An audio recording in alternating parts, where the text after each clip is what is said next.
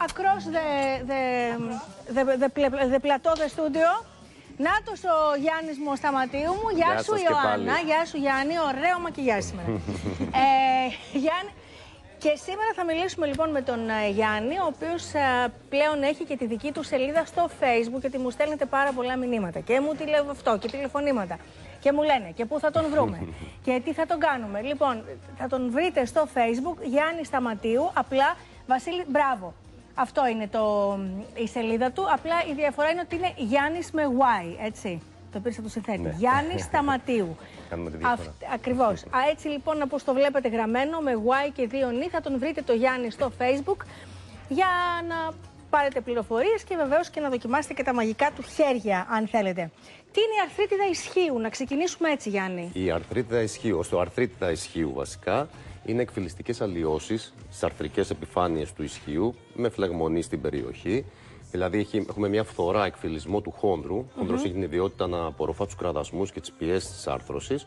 Οπότε όταν εκφυλίζεται έχουμε και τα προβλήματα, όπως είναι συμπτώματα δηλαδή όπως είναι ο πόνος, είδημα, δισκαμψία Και μεγάλη. δυσκολία και στο δισκαμψία περπάτημα. και στο περπάτημα, έχει χολότητα. Δηλαδή Μάλιστα. κουτσένει κάποιος. Έχουμε πόνο. Ο πόνος εντοπίζεται περισσότερο στην περιοχή του, των γλουτων στην πρόσθετη περιοχή του μυρού και στη βουβονική χώρα κυρίως. Ναι.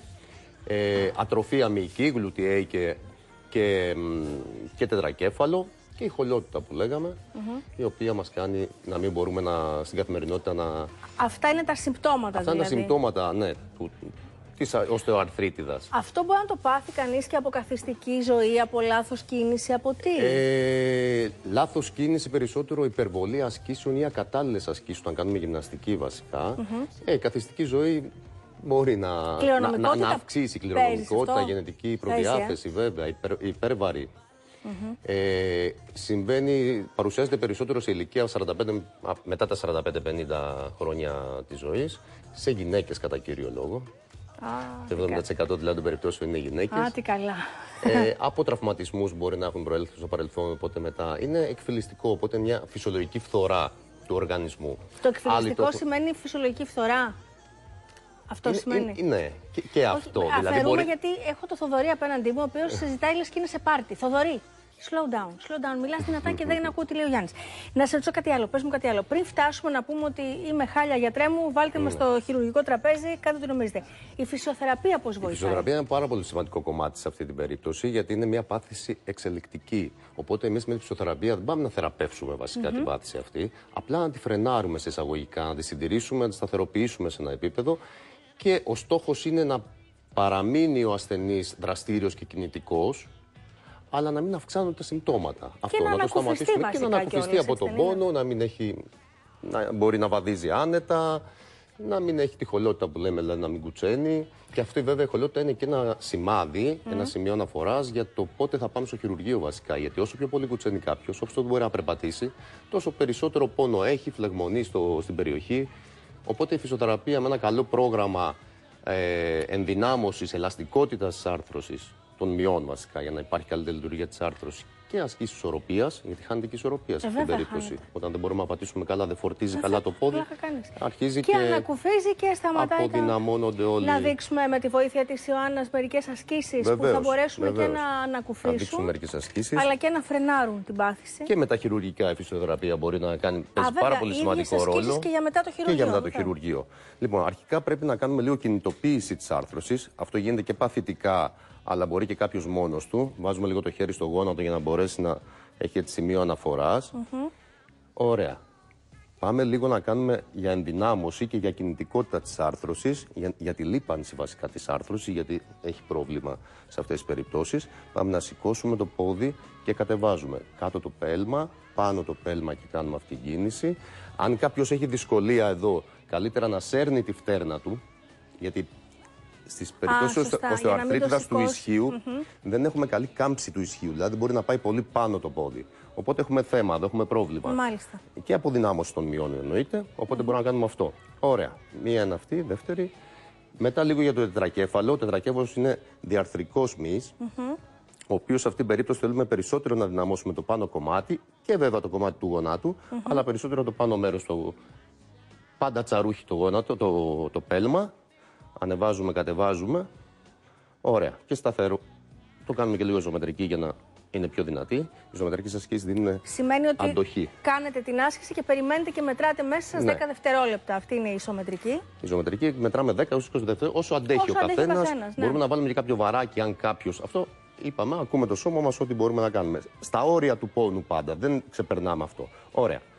Η λεγόμενη γέφυρα που κάνουμε πάντα για τους πίσω μυς, μύες του, της Αυτό άρθρωσης. Γιάννη δεν θα πονέσει όμως κάποιον ο οποίος υποφέρει από αρθρίτιδα στο ισχύο. Γι' αυτό η Ιωάννα τώρα το κάνει σε όλο το εύρος τη κίνησης. Ναι. Κάποιος που έχει το πρόβλημα σίγουρα δεν θα είναι τόσο εύκολο να πάει μέχρι όλο, όλο το, όλη την κίνηση. Οπότε έστω και λίγο αν γίνει, να σηκώσουμε Μικρή λίγο. κίνηση. Μικρή κινησούλα χωρίς να υπάρχει πόνος. Αυτό είναι το Βοηθάει. σημαντικό.